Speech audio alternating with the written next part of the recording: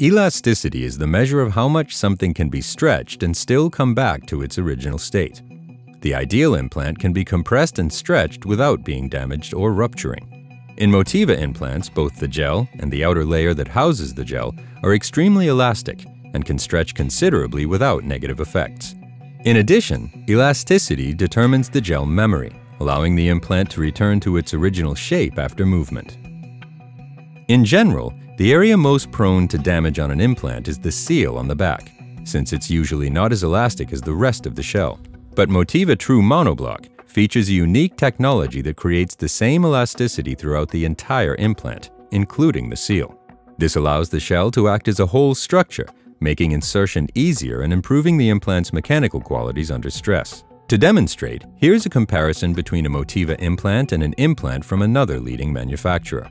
The high elasticity of the Motiva implant allows a surgeon to place the implant using a very small incision, resulting in a smaller scar. Finally, all Motiva implants are manufactured with Blue Seal technology. This unique process creates a visible barrier layer that makes it easy for the surgeon to verify that such an important feature is intact before surgery.